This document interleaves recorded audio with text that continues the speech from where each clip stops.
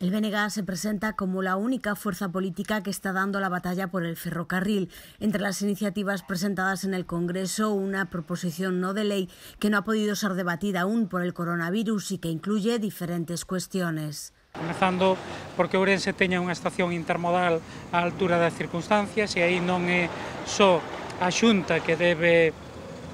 eh, mudar de posición en canto á súa parte, a, a estación de autobuses, senón eh, que o Estado teña que comprometerse realmente a desenvolver un proxecto digno e que dea eh, solución ás necesidades de Ourense, non exactamente igual pois coa variante exterior, sabemos que é unha cuestión de, de eh, investimentos, pero tamén unha cuestión de vontade política. Non?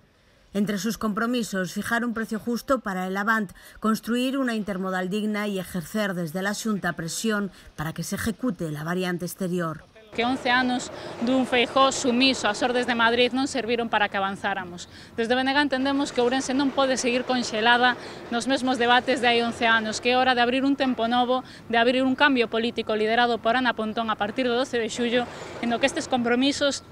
estean dunha vez por todas en riba da mesa e cremos con honestidade e con humildade que somos a única forza política que pode garantilo, porque somos as únicas que non teñen as mans atadas, que non imos ir a Xunta de Galiza a defender o que nos diga nin Iglesias, nin Sánchez, nin Casado.